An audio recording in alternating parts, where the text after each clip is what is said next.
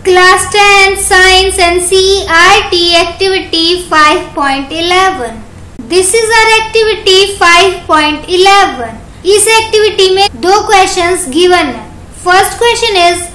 how would the tendency to gain electrons change as you go from left to right across a period जब हम modern periodic table में along the period left to right move करेंगे तो electron gain करने की tendency कैसे change होगी?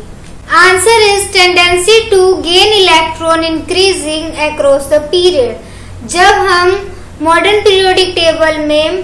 along the period left to right move करेंगे तो इलेक्ट्रॉन गेन करने की टेंडेंसी इंक्रीज होगी। Second and the last question is How would the tendency to gain electron change as you go down a group? जब हम modern periodic table में along the group down जाते हैं तो electron gain करने की tendency कैसे चेंज होती है आंसर इज़ जब हम मॉडर्न पीरियोडिक टेबल में अलोंग द ग्रुप डाउन जाएँगे